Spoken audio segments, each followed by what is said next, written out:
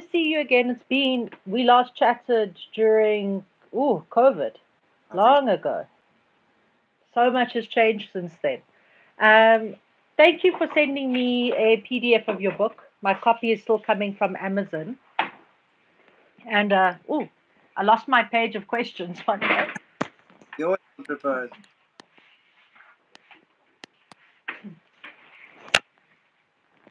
So, how long did it take to put together karate for mental health? Too long. Um, Too long.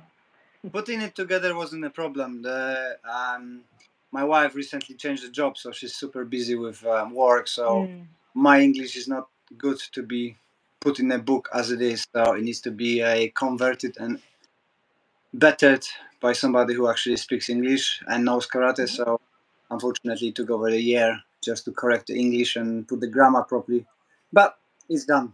So Well done. You are three books ahead of me, so I know how hard it is to to write and produce. So I have lots of interesting questions because this is a passion area you and I both feel very passionate about how karate uh, dovetails with um, mental health. And I very much relate to your idea of the anxious black belt. I myself had a had a funsies small little anxiety attack this morning. I'm over it, but you know these things don't go away just because you think you've got a handle on them. Yeah. So, um, you know, I really liked your accommodation. Uh, one of your students you talk about is HJ, and she obviously self harmed. Yeah. And you allowed her to wear what sounds like a rash guard or one of those long sleeve things under her jersey, um, under her gi. What are the reporting duties in the UK if you suspect self harm in students? Uh, do you have uh, safeguarding that you have to follow? Is it different for adults or kids? I'd love to hear your processes. Uh, So I, don't- I don't teach kids, but it's definitely uh, reporting um, to self harm. This was uh, self harm in the past, so she Mm, under the treatment of um, Oakleaf.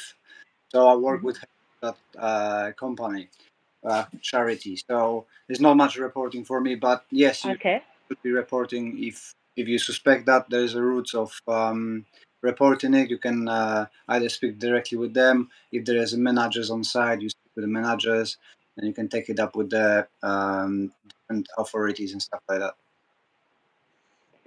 So it is, South Africa's a little bit behind in this. It's only now that safeguarding is starting to be put into place in karate. Um, I've got my own protocols that I've been working on with Shay, um, which I looked at mostly. I see in the UK safeguarding protocols are very, uh, on every single karate instructor's website. I've noticed that there's safeguarding protocols when they It- work with kids. It's it's, it's not a legal obligation. Uh, Oh, okay. is a good practice. Um, they trying to. Uh, karate in UK is not regulated really. You've got um, Hmm. hundreds of governing bodies, but there's no. You can buy the black belt and start teaching tomorrow. Yeah. So do a insurance, but it's a it's a right direction move, and more of the governing bodies creating policies. So like for us, the um, British Combat Association have got their own policies. You you download, you modify them to your club and is the route of reporting to to the organization that take it up with appropriate um, authority. If it's you know dangerous stuff, you can they go to police like that. So they've got the means of contact somebody to seek help, but but Okay. Not not much regulated. It's now the movement towards the regulation of it. That's interesting that it's a bit of the Wild West. I thought with the UK being such a stickler for bureaucracy that um, karate would be tightly regulated there. I, I thought so as well when I moved to UK because in Poland now actually it's changed to the model from UK. But when I was in Poland, you had to do a course for inst- instructing. So you have to have a course to start teaching, and then you have to have a specialization for karate. And when I came to UK, they said, "Well, what's that papers? You don't need anything. Just go and teach." Yeah. And that leads to so many problems, but that's for another video. Um, so you is the Noah in your book Noah Legel by any chance? Yes, no, legal, yeah. No way. Like the fact that he talks about imposter syndrome, like I look at his YouTube channel and his content, and he's not someone I would associate with having imposter syndrome. And I know I have it all the time, even though, like, statistically, like one of my videos is on nearly 300,000 views. So obviously, what I have to teach has value. but I often feel like they're going to catch me out and something like, haha, you dropped your yellow belt. Here it is. Um, how do you, do you often feel like you have imposter syndrome? And when you do, how do you deal with it? Every day. and this, this is a funny thing because we are perceived as the teachers because I think when you, at least for me, when I put the gi on, I'm a different person in a way. Mm-hmm. I have to be confident. I am confident. I feel confident. And you go and do the job. Um, I speak spoke with many people, including Noah, Ian Abernethy, and they had the same. Mm-hmm. I think that you have to realize that you know you you are teaching, and there is uh, 40, 50 people yeah. who want knowledge from you, and they're willing to pay in some cases for you to be there. That means you are valuable asset to them, right? You're doing something for your community, and I think mm-hmm. that as a as a service, so I'm giving back my knowledge to everybody, and in that way I can overcome. And you just have to realize that you know if so many people tells you you're good, they're probably not lying. Yeah, I mean they probably yeah they're all in. There's a part of you that rationally knows it's not a conspiracy. Like they actually trust you and believe in. But I'm shocked that Ian Abernethy, who I also as a sensei I look up to a great deal, and mm. who I'd love to collaborate with one day, he does not strike me as someone who has imposter syndrome. So it's well, reassuring to hear. It's better than having Dunning-Kruger syndrome, you know, where you don't know how incompetent you are. Exactly. Um, there's a there's a channel. I'm not even going to give his name because I really don't want to send him traffic. But he is like so arrogant. He's like, I've got the one true secret, and they can't stop me. I'm an alpha karate instructor. I'm like, dude, you need to slow your roll. Ah, Mad Razorback, good morning, and Barbara, good morning. So nice to see you in the channel. Um, so I have a student just like your student Noah, who was incredibly shy and has grown into himself through karate and helping other people. For the instructors that are watching, uh, how can they make their dojo a sanctuary for those who feel like they don't belong? Uh, so for, for me, it is showing my own vulnerability. Whoever comes to my mm-hmm. dojo, I'm the first to welcome them and and kind of uh, start the conversation with that. you know. I understand this is very stressful to decide to step into the dojo. Yeah. People who you know are dressed differently, have a different kind of mannerism. They're probably fighting a lot, so they might look intimidating. And stepping through that door, it's it's super stressful. So I always welcome them and, and explain that you know I suffer with uh, an anxiety. I've been stressed. Everybody's welcome, and then all my team kind of naturally happens that comes and chat as well. So we don't have we never have a groups we all together yeah. one big group, and then everybody welcomes everybody, and then we take care of uh, people and try to show that uh, you know we all humans. We all have our issues. I explain, you know, we've got Danny who is autistic, so I explain, you know, be careful with that person. Yes because he's he, he, we never know how he's gonna take into the person new person coming in sometimes mm-hmm. he's open 99.9% but sometimes he gets overwhelmed and says like oh i don't want to train with that person because and he walks off. So we try to accommodate person and make make them feel comfortable. And we are not very strict dodgers, so we've got very mm. And I think that's the that's the key. It comes from the top, right? Because I'm relaxed. Yes. Relaxed. Uh, I think there's there needs to be more of a space that actually brings me to um, another question. Actually, my next question. Um, I often think about this idea of who gets to be a black belt and who gets to be an instructor. Um, and it's clear from your conversations with your students that you are a beloved instructor, that you make them feel welcome. But mm. um, on the surface, you and I don't look like real karate instructors, and that we don't have the big build. Mm. We're not incredibly athletic. oh, hi, Troll. but we both deal with trolls. I often, the other day, someone's like, "Where did you buy your black belt from?" in the comments and there's this idea that there's only a certain type of person who's allowed to be a sensei because they're powerful and they've got the look and they've got the vibe. Yeah, we should actually just uh, show them the troll. So, what do you think defines success as a karate instructor now? If it's not ninth Dan Hanshi, my lord and master karate instructor. I, I think for me, success is that my students, uh, A, speak well for me, I, I had mm-hmm. times we went for dinners. Oh, do you want to be on YouTube? This is Sensei Les. Come say hi. Hi, Sensei Les. There we go. Hello. And so you're not really allowed to be on the internet. Come. All right. Say hi. Say bye. Mummy's on YouTube. I feel like that BBZ. Mommy, which one should I press to go on JJ and Mikey? JJ and Mikey is on the YouTube button. Go ask Daddy, please. I'll be out in about 20 minutes or so. Mommy, which one do This I one. press? Oh my gosh. This Uh, one. Okay, yes, this one. The one that says YouTube. Okay, so- if I all right. it. You press it and then you speak to the microphone and you say JJ and Mikey. JJ and Mikey. Okay, close the door behind you, baby. Or not. Uh, don't, Thank don't, you. don't tell me. no, no. I've got the same JJ Mikey all the time. Oh my gosh, I hate JJ and Mikey so much. I, all the Minecraft channels, I genuinely don't get it. I, I- feel pain. Ugh. Between JJ and Mikey. What? My phone decided to go for a. My phone decided to go for a little ride there. But these are the things and the moments I think that make us relatable. I'm not exactly a karate by Jesse Enkamp kind of level of professional. Ah, who cares? If you Oh, who cares? that matters. I Oh, yeah. Love what we do. For, for me, um, you know, uh, the, how my students talk about me, people who I met through the seminars and Mhm. stuff um, is a measure of success, right? So we went on competition, and one of my students said, "Oh, the guys there." That's that's what makes me happy, right? I But doesn't want. I know you, baby. I need you. Remember, I made a deal with you. If you let me do my YouTube, I will give you an ice cream. I can't do it. Okay. Go get your phone via the router and watch TV on your phone. Okay. Thank you. Bribery and corruption. Same tactics. No, exactly. It's it's not. I think we look at success often in terms of money and numbers, but I think the impact. You know, you never get to know about the lives you saved. Mm, exactly. Um, I mean, if you're lucky, you do. They come back to you and they're like, "Yeah, Sensei, what you said was so motivating and changed my life."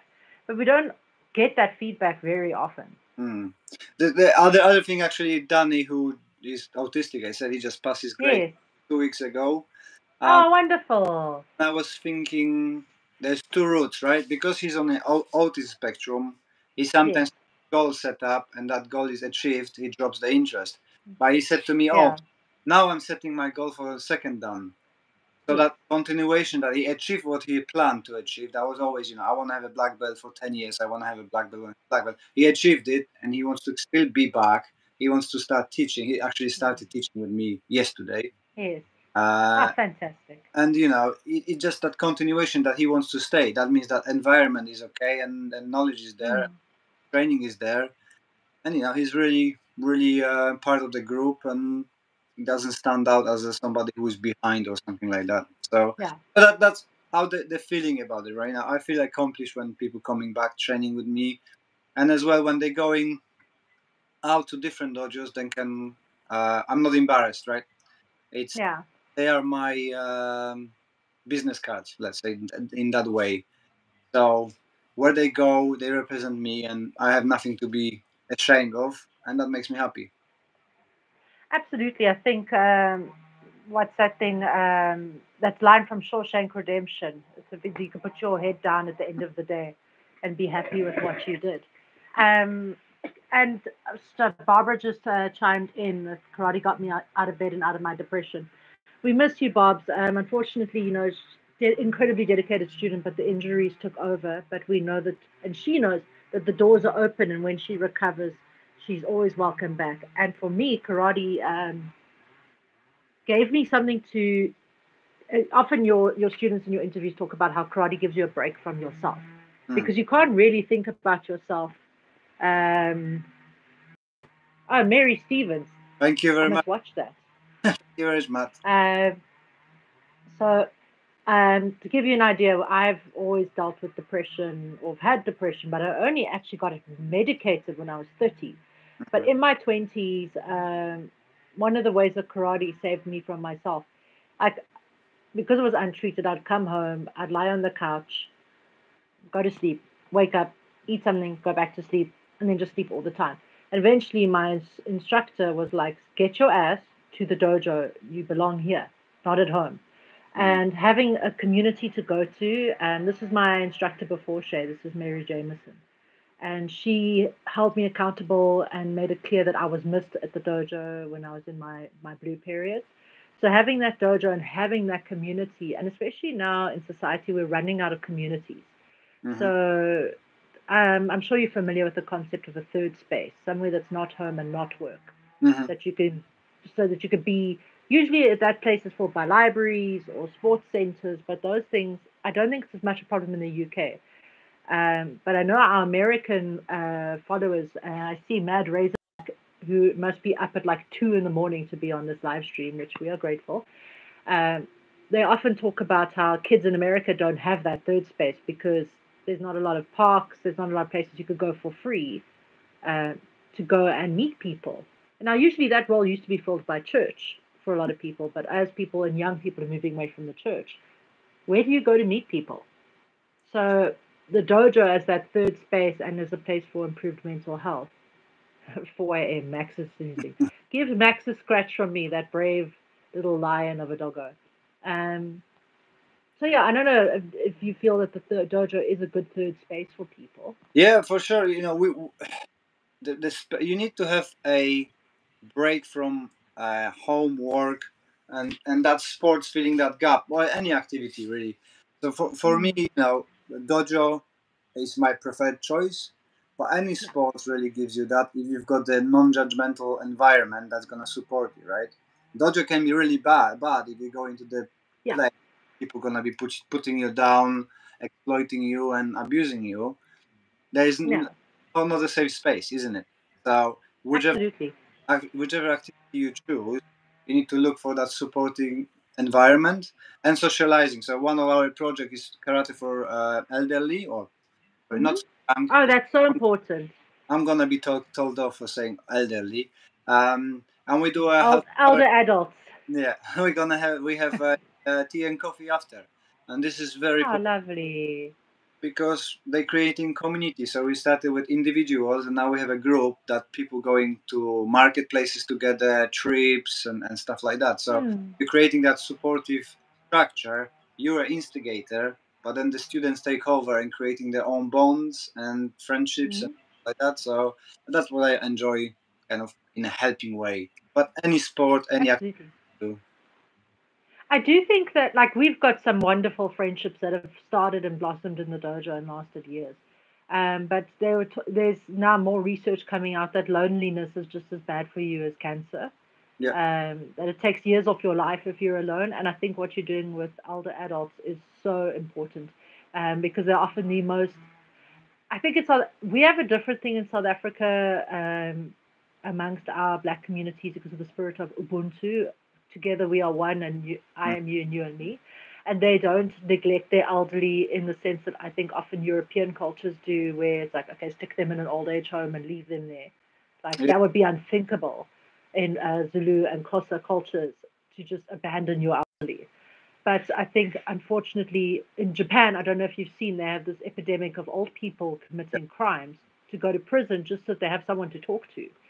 No, And that is horrifying to me. Mm. Um, but it is happening, and not just a Japanese problem. It's in countries with growing populations like the UK and Germany and the Scandinavian countries. So I think if we can move away from this idea that karate can only be for super athletic people, can only be for talented people, and we move towards dojo as being very inclusive spaces for people of all ages and all abilities, I think, and I think that's the original intention. When you look at um, Funakoshi's book, Mhm. he talks about how he was like small, weakling, uh, very unhealthy, but karate gave him purpose and gave him a community. And they often talk about it in their books and essays that karate should not be about federations, it should not be about the ranks, it should not be about the titles. But I think we've gone so far away from that to the point where a lot of people have drunk this Kool Aid idea of, well, if you're not a Shihan and you don't have, you know, titles and tournaments, who are you as instructor? but you know that's That's, you know, that's the price of popularity. You can see that. absolutely. Good example is uh, BJJ, right? They've been holding up standard, and now it's all going down the hill because more people got the power. Easy way to make. Yeah. Let's sell the belts. Let's Oh, yeah. and somebody's got a yacht, right? hmm So this is the price of popularity, and and karate was earlier than BJJ. So in seven, Yeah. boom, and then it's decrease of the quality. Wondo, judo, everything. It, more popular you are, the more people try to abuse it and make a business on it. So Yeah, no, and, and like as like you said, you know, it's not regulated in the UK, so it's even easier to start your little own McDojo and run away. You could get away with it for a while, um, but then you have to move. yeah. Sorry, breaking up there. Um, but you know, on the on the subject of McDojos, um, I was really against McDojos, but recently I'm changing my mind a little bit. Um, because providing service as well, uh, and I think most of the people now can do research and know what they're signing Yeah. up for. If they just want a hobby with kicking, jumping, and being in pajama, why not? It does, it does help them. Why not? Yeah, Um, so you know, I decided that instead of looking what other people do, I just focus on myself, do my Yeah. stuff. And if somebody absolutely. in the McDojo, good for them. If it's not uh, missold and ill intent, I don't have a problem with this. Yeah, I have a little cousin in the UK who started with a little. Uh, I I'm not gonna. I look at it, I'm like, oh shame. You know, he loves it so much, so I'm not going to take it away from him. But like, I wouldn't send my son to that dojo because I don't even know what kind of mismatched style it is. But it makes him and his mom happy, and it's not doing because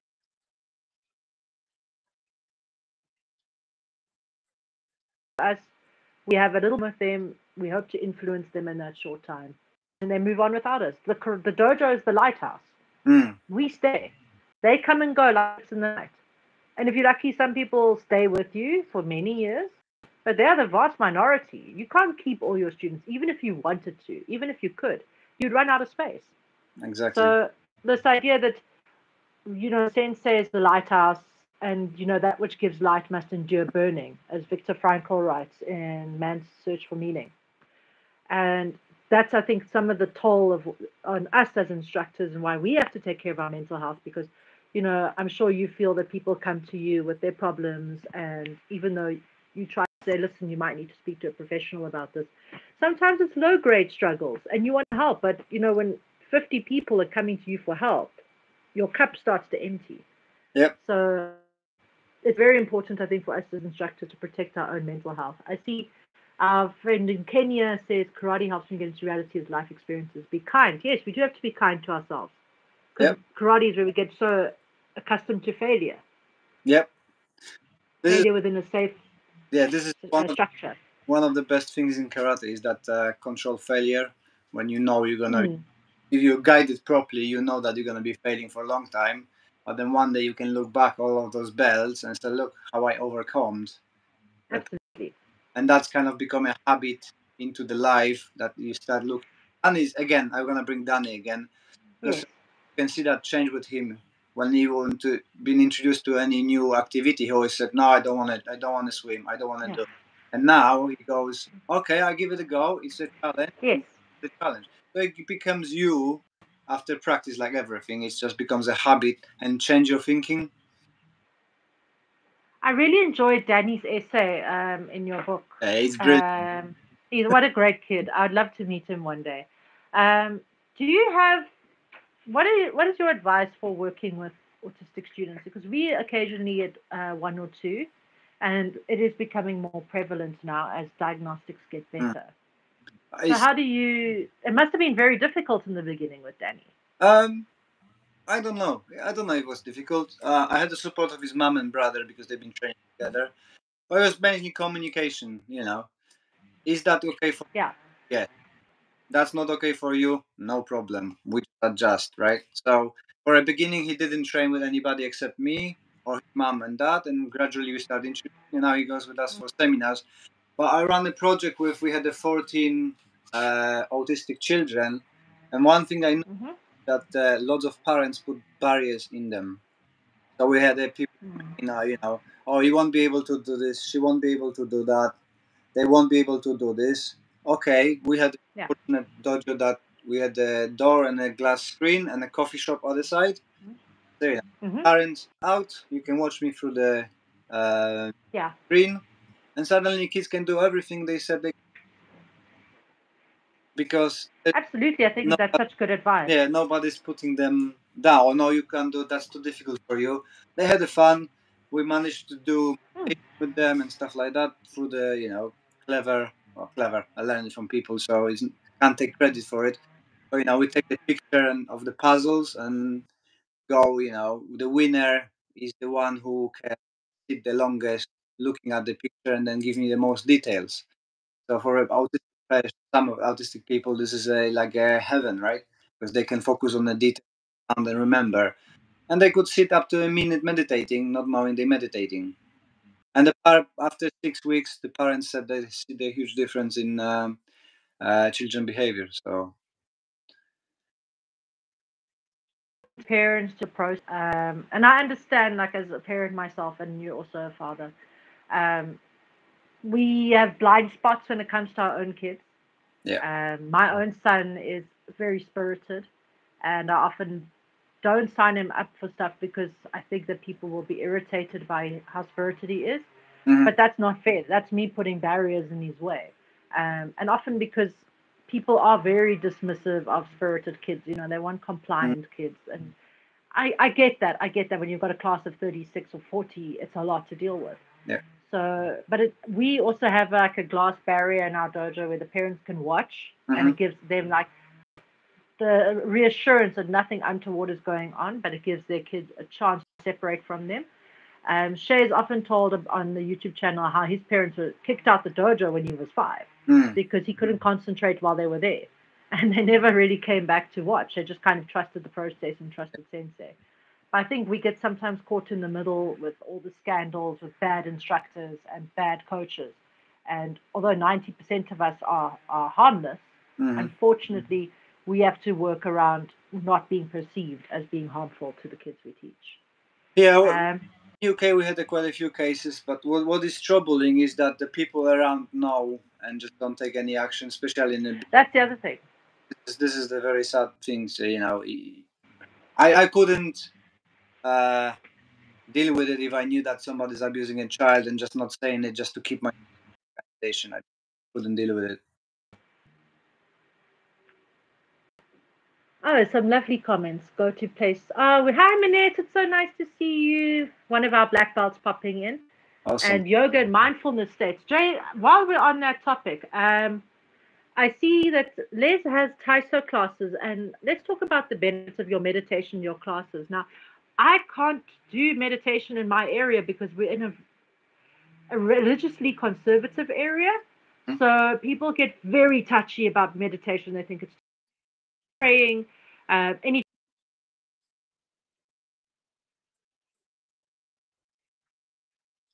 because it's part of that whole like racism from the east must be satanic or paganistic or whatever. hmm So unfortunately, I can't incorporate mindfulness and meditation into our karate practice as much as we like. But tell me about how it's benefited your students and how you incorporate it in your Taekwondo classes. Uh, so I, I think people because we're doing say meditation, people take it um, literally like a proper meditation. So we Yeah. don't do that. We just um, go into a happy place when we do movements. So Okay. so we we go either try not think about anything or let the thoughts going through right mind. Mhm. Let us enjoy the movement. Um, how it benefit people? Um, mainly physically. So because that's that group is from 70 to 100 years old, and you're just keeping them mobile. So you know through Yeah. going kata, they uh, improve their mobility in the shoulders, strengthening the legs. They can do now squats, nearly full squats. Half of them does full squats. Um, they say it calms them down. Uh, They Mm. enjoy movement, and there is something magical with people doing katas without a word, and everybody at their own speed. It's I don't know. It's very comforting. It might sound very mumbo jumbo, but it's just Mhm. very you know we've got so we do a 15 minutes of uh, like 10 minutes of warm up about 25 of uh, doing kata in slow when i guide them and then we've got the 15 minutes of doing kata your, your own so we do usually tensho.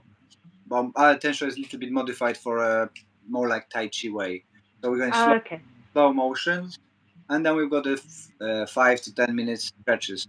So you know it's kind of like an all-around package focusing mainly on the body, so they keep their densities. I've got 90% of women on that class, so we try to prevent the osteoporosis for them, body exercises, uh, flexibility, mobility, and that little bit of a, a head space for them.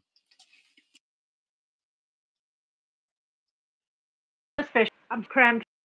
Um, I would love to be able to offer um, such a class at one of the old age homes around here. Um, it's actually something that I think um, should be part of a um, meditation. Absolutely, it does help to hope, focus on the explanation, relax. I love doing it, but I can't. Well, I haven't figured out how to incorporate it. But what was I saying? Oh, I think it would be nice if, as part of someone's black belt grading, they did offer some kind of community service. So, Mm. You know, as part of your black belt grading for that year, you have to at least do one class a month. Um, the brown belt can teach, you know, tension. But then to, you, um, you have to take in consideration not everybody is a teacher. So I, that's the thing. Very few people are. yeah, I've got the issue with that. You know, oh, you need to teach so, teach so many lessons, uh, produce so many Mm. students. Um, not everybody is geared for that.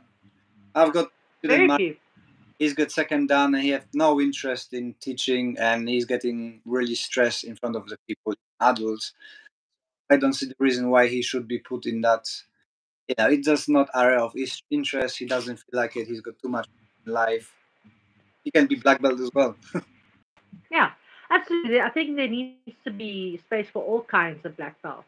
Hmm. Um, I do think it's important sometimes to encourage people to stay on one, yeah yeah um, because also to teach us to learn twice.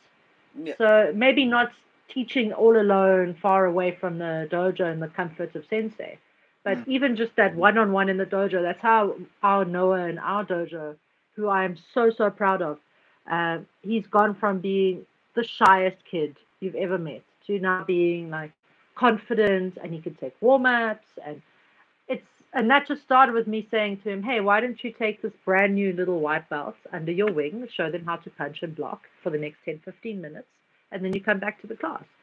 And that alone, uh, that's the special part of being a sensei, is the people you chase. The belts are like a nice bonus, like you Hmm. I've got a third dan.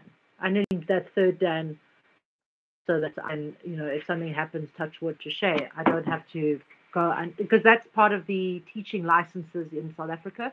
Mhm. Uh, to run an independent dojo, you need a third dan.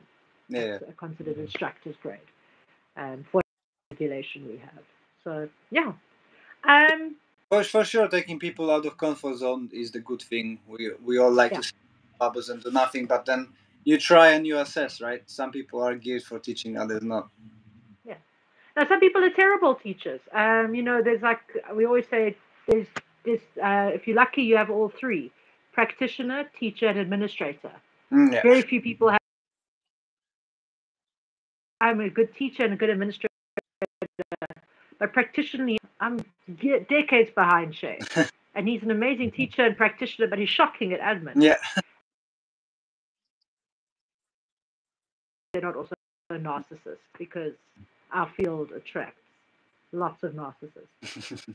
Um, anything where you've got a power differential, unfortunately, whether it's nursing or teaching or oh yeah coaching or policemen, unfortunately, going to attract psychopaths. And it's our job in the field to weed them out before they get into too much uh, trouble with students. yeah That's really appreciate what um, what's his name over at McDojo Life does yeah is showcasing these instructors and putting their faces on the internet so that if they try open another dojo, it'll be like, but oh, I looked you up, and guess what? Hmm. You know, you got caught touching your students. although So, although um, although he's a brave man. sometimes Rob puts stuff which are which are out of context and Mm, especially on these short short things so i wonder when yeah. my karate for mental health gonna feature there with the, look how shocking they don't touch each other Well, wait, that's true.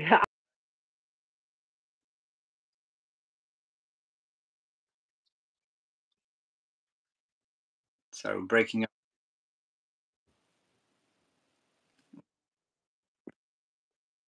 sorry we broke oh dear. can you repeat Sorry. Um, does anything you want to chat about in terms of further karate mental health? Any questions? Any questions anyone's got in the comments? Since we've got 15 people online. Oh wow. Um, yeah. Um, and I, I know like our Americans will come on. That's our biggest demographic for our channel. Um, they'll all come online in about two, three hours and they'll watch the live stream. But Les, as always, it's been such a pleasure chatting to you. Um, I love picking your brain and sharing thoughts across the world on something we're both very passionate about. Thank you. Yes, and congrats again on the book. And you've inspired me to to start work. I don't know what I'm going to work on, but one day I'll get around. I'm sure. Maybe when my kids are bigger. Yeah. They're five and one, so it's a bit of a hectic age. Yeah. Mine is And they're or seven and four. Yeah. Yeah, so you're in the trenches of parenting. yeah. You know, the you can't sit down, can't go. The four-year-old is it gets a little bit easier. You're getting out of the rough period. I'm just starting it all over again. Well, I'm turn, but it's fine. I'm turning into the taxi driver at the moment. So you know, after Ah, drive me there, this club, that club, and stuff. But you're congratulating me all the time. I would like to congratulate on the super great Ah. YouTube channel because you explain thank you. compared to last time we've been chatting, and I do watch your videos. I, I know. Thank you. I appreciate that. Um, someone just said, why must the senses or privilege the physical and not the mental part? Jay, that's a great question. I think it's because uh, the physical is not a sort of vulnerable thing. People feel very vulnerable when they embrace the mental part of trading. And that's when you come up against, I mean, you can always train to be bigger, stronger, and faster. I think that's quite straightforward. Um, but the mental part, you're right, that is the most challenging. Like Sanchin as a kata, for example, is physically demanding, but mentally to, to perform that kata properly Mm. is exhausting. And our attention spans are like now yay long. Um, I, I was teaching teens the other day, and every five minutes, like, hey, hey, hey, look here, look at me. Mm. It's not TikTok, okay? I'm talking for longer than 20 seconds. look at me. So I think, yeah, the mental part actually does need to be privileged more because that's our long term growth. I- Eventually, your body's going to give out. I I think the problem that uh, all over the world is still that bit of a stigma. You know, you break your leg, you Yeah. doctors, you've got a problem with mental health, you avoid talking to, about it, right? So that's why Yeah. how the karate for mental health started. So we try to um, promote that uh, talk about uh, mental health, right? We hmm perceived as a martial artist as a tough people, macho people. And if we need to show to other people that if we can talk about it without problems, then everybody, Yeah. Right? And then there's a great book actually. I'm gonna feed Ian Abernethy, who wrote uh, Mental Toughness. So he's uh, Yeah. explaining how to uh, kind of build up resilience. You have to, uh, first that you have to get out from the comfort zone and you know talk to people and do stuff. In the UK, primary school implies mindfulness. Oh, wonderful. That's so lovely to see. Yeah, they do. That's a great move. I think Wonderful. cool as well, but yeah, most most do something towards that. Um, question Sensei Les, does Fair Fight Netherlands get involved in mental health? So I've got my big computer screen here. Um, so- see the question. it's Inception. Um, uh, Mary, Mary is involved in supporting us. Uh, I'm not sure if they do in India. I think they incorporate definitely a um, self confidence and building up the girls there. They're doing a fantastic work in there, and, and we are yeah, that's amazing. close friends with Mary. Um, and yeah, they're doing a fantastic job. And I think the part of her teachings is building up the mental resilience of those girls because, you know, we live, at least me in UK and in Poland, I never imagined what in India going through, especially girls. And it's just, you know, essential work she's doing there. And all kudos to her. I think I must connect with Mary Stevens because she sounds like Yeah. she's on the same kind of journey I am. Like, um, I'm trying to through my own charity, um, Martial Hearts. I want to work on period poverty in martial arts in South Mhm. Africa um, because it's a topic very close to my heart, and it's shocking that girls, you know, have to miss karate. Yeah, you're right. I'm, I'm going to try to get her details from Sensei Les and after this. Mm. Uh, a lot of girls missing karate in school because for want of a pad or a tampon, which is shocking. Mm. In what world is this not distributed for free?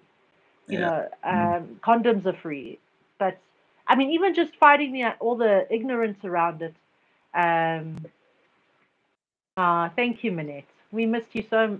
Oh, Mia. Hi, Mia. Also, one of my dojo adults. So lovely to see you online. That's why we love having you in the dojo. She's also my fellow tattooed mom. Um, but I, I, I would love to see um, more education about how girls have to struggle, and it's something I think that's important with you as a male ally. And Shane, may he rest in peace, as Sensei Angel Lemus. Um, he was a big feminist advocate for karate. I'm actually going to write my article about that for his memorial issue. Um, but yeah, these are battles I think, and this is the important role karate has to play. It's so so much more than medals at a tournament. Like I- I, I the least important aspect of karate for me. Um, whereas we're here to change lives and make a difference. Yeah. And I, I get you. are nice, but I, I get you connected with Mary because it's well worth it having her online. And she's involved in uh, 500 Rising. okay, Um, that's a really good program for um, self defense for women. fantastic. I can't remember who the leader of it, but she will know. Yeah. Not in a self defense circle, so but it's well worth talking to her. I will. We'll do something cool together. Yeah. Isn't the internet great for all of its flaws? Like 20 years ago, we couldn't have had these connections across the world. Like you did karate in your country and you lived and died there. But now we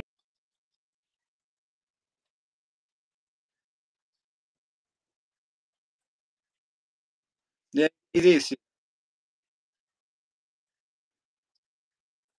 Comments and night. met all the people I've met through YouTube and through the internet, Mm. and the changes I get to make through something I never thought I'd do. I studied to be a copywriter, Mhm. so here I am. I ran away from advertising.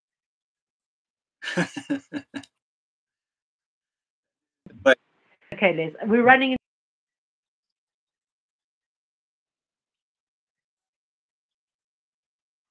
In- hmm I better get the kids, both of them. Yeah. As you could see, the the the black belt, the black bag under my eyes matches my black belt. yeah, I know that. Lack of sleep, sleep is a killer. One day is one day that I'll sleep, but just not yet. Yeah. I All right, Les. Thank you for and thanks to everyone who watched, who checked in. Um, thank you for your lovely comments. We so enjoy seeing your comments, and you know where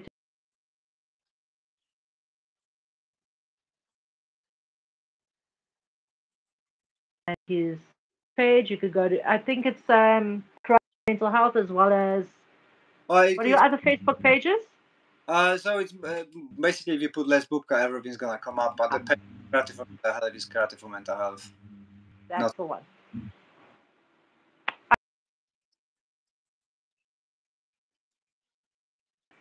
And we will chat soon. Put this up with keep it Thank- up. Thank you. And bye. Your stream yes. Bye everyone. Bye bye.